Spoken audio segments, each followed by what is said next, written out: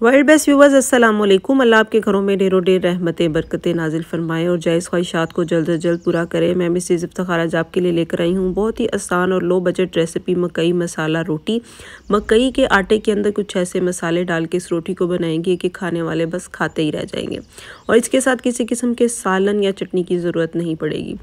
तो आइए बनाना शुरू करते हैं इस मज़ेदार सी रेसिपी को। उससे पहले अगर आपने चैनल को सब्सक्राइब नहीं किया तो सब्सक्राइब कर लीजिए। फ्रेंड्स और फैमिली मेंबर में शेयर कर दीजिए और वीडियो को ज़रूर लाइक करें और अगर आप मुझे सपोर्ट करना चाहते हैं तो ज़्यादा से ज़्यादा वीडियो को शेयर करें। तो आइए चलते हैं रेसिपी की तरफ़। बिसमीम यहाँ पे देखिए, मैंने ले लिया है मकई का आटा दो कप और उसके अंदर डाल रही हूँ बेसन तीन चम्मच, तीन टेबल स्पून आप जितना आटा लेंगे, उसी की मुनासबत से आप बेसन ऐड करेंगे। हरा प्याज बारीक कटा हुआ इसमें मैंने डाल दिया है, एक मुट्ठी के बराबर। धारा धनिया काट के डाल दिया है। आप चाहें तो इसमें थोड़ी सी पालक भी ऐड कर सकते हैं। और अब मैं इसमें शामिल कर रही हूँ नमक, हसबे ज़ायका। मैंने इसमें वन टीस्पून शामिल किया है। टू टीस्पून मैं इसमें डाल रही हूँ सूखा धनिया और वन टीस्पून के बराबर मैंने इसमें डाल दी है लाल मिर्च का पाउडर। और साथ ही मैं इसमें डाल रही हूँ थोड़ी सी मेथी, खुश्क मेथी। अगर आपके पास फ्रेश है तो आप फ्रेश भी डाल सकते हैं। हरी मिर्चों का पेस्ट मैंने इसमें वन टीस्पून शामिल कर दिया है और अब इन सब चीज़ों को हमने अच्छे तरीके से मिक्स करना है। सारी चीज़ें हम इकट्ठी कर चुके हैं। नेक्स्ट काम करने से पहले चलते हैं आज की अच्छी बात की तरफ़। नबी करीम सल्लल्लाहु अलैहि वसल्लम ने इशाद फरमाया, क्या मैं तुम्हें ऐसे लोगों के मुतलिक ना बताऊँ जो जहन्नुम की आग पर या जहन्नुम की आग इन पर हराम है?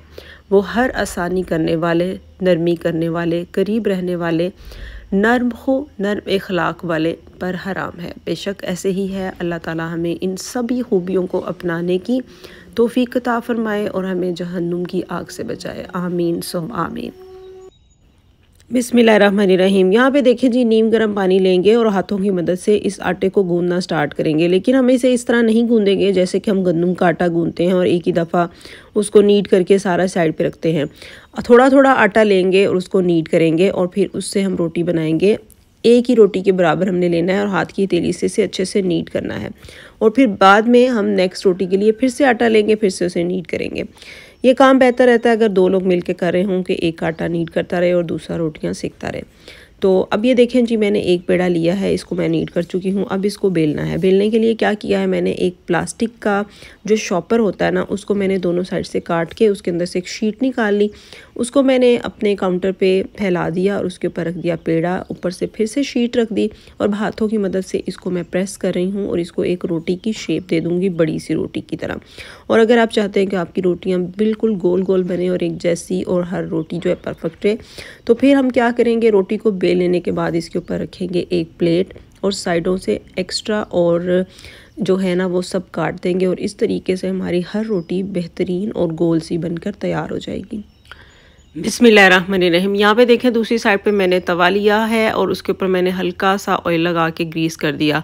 और चूल्हा जो है यहाँ पे मीडियम टू लो है और चूल्हा जब भी ऑन करती हूँ मैं दुआ पढ़ती हूँ अल्लाह जिनी मिना नार। अल्लाह जहन्नुम की आग से बचाए आप भी पढ़ा करें ताकि मेरे लिए सदक़ जारिया हो।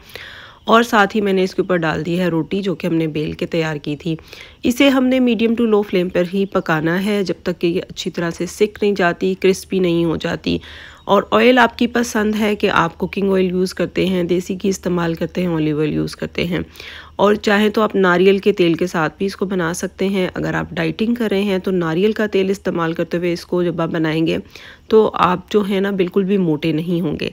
और नारियल के तेल की बिल्कुल भी स्मेल नहीं होती, खाने में बिल्कुल टेस्ट फ्रेंडली है, इसको ज़रूर ट्राई कीजिएगा अगर आप लोग डाइटिंग करें तो इस तरह से करके हमने रोटी को सेक के तैयार कर लेना है। देखें दोनों साइडों से कितनी ज़बरदस्त और मज़े का कलर इसका आ गया व्यूवर्स, काम के दौरान दुरुशी पढ़ते रहिएगा। इससे खाने में बरकत और खाने वालों में प्यार होता है और इस तरह से हमारी रोटियाँ बनके तैयार हो गई हैं। बहुत ही मज़े की उम्मीद करती हूँ आपको आज की रेसिपी अच्छी लगी होगी।